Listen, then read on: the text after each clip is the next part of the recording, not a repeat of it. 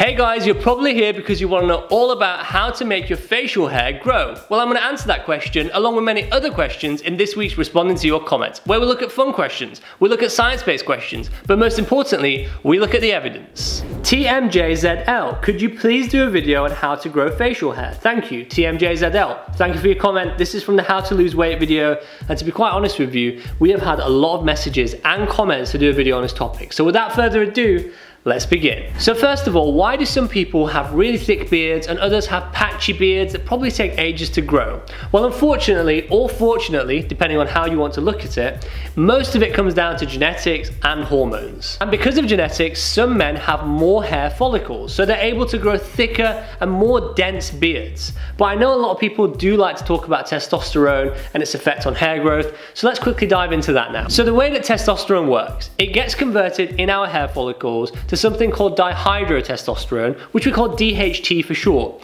And this is about five times more potent than testosterone. Now here's the fun bit. So some hair follicles are very sensitive to DHT, which stimulates the hair growth. Now this is where genetics comes into it, because if you're genetically someone who has a very thick and long beard, most likely one, you have more hair follicles, and two, your hair follicles are more sensitive to DHT. So that means you're gonna get longer growth, thicker growth, and darker growth. But please remember that if you do struggle to grow a beard or it takes you ages to grow a beard or it's patchy, it doesn't mean that you have low testosterone levels. I know people like to say that to each other, but this is false. Most of the times you have normal testosterone levels. Low testosterone levels actually come with many different symptoms, which I will list in the description below. So please read it if you want more information on it. Now your next question is probably Abraham, well how can I grow thicker or more facial hair? And the first thing I'm going to tell you is that razoring or shaving more often actually has no effect and there is no correlation between razoring and shaving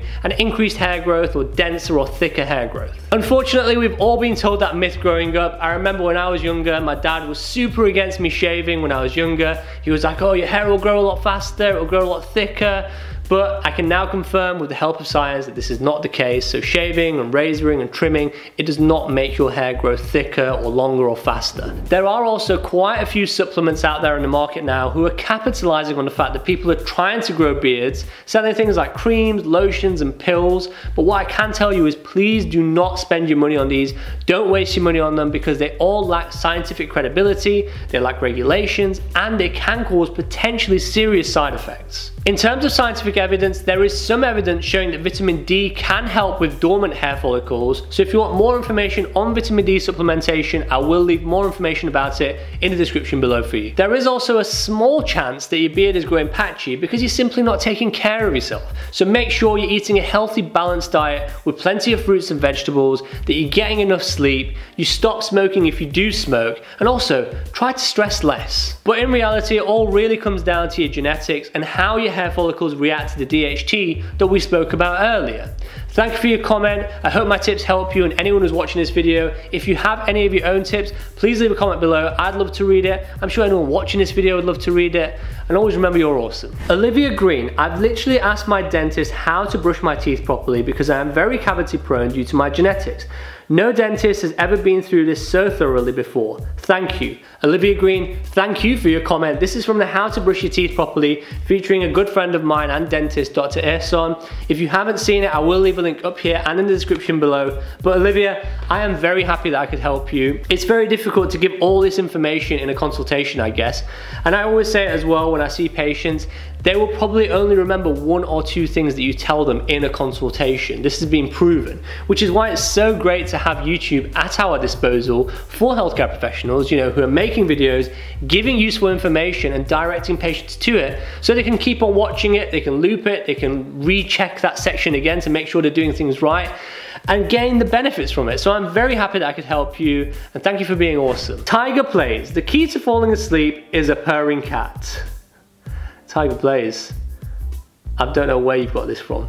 Automotivate. Never knew a hemorrhoid video would be so entertaining. Automotivate. Thank you for your comment. If you haven't guessed yet, this is from the hemorrhoids video, or if you're in America, I think they call it piles, all about them and treatments and tips and everything like that. Thank you for your comment. I really hope I helped you. And the fact that you said that made me happy because I really do try my best to make these videos as entertaining as I can because most of the time healthcare videos can be a little dull, they can be a little boring. So I do try and make them as entertaining as fun for you, the viewer, so that you're learning and being entertained at the same time. Cat love. I love cats. I'm obsessed with cats. I can't live without cats and I just rescued one two weeks ago. Cat love, thank you for your comment. Thank you for being awesome and amazing rescuing cats. This is from the how to get rid of a cough video but just got one question guys like why am I getting so many cat comments recently? Is there something I should know about? If there is, please leave a comment below and let me know. So it looks like we've run out of time again in this week's responding to your comments. If I didn't get back to your comment, I'm really sorry, but the best advice I can give everyone is leave another comment and I will try my best to get back to you in a future episode of responding to your comments. Always remember you're awesome and I will see you next week. Hey guys, thanks for watching this week's video. Make sure to click that like, follow or subscribe button now to stay up to date with new weekly videos.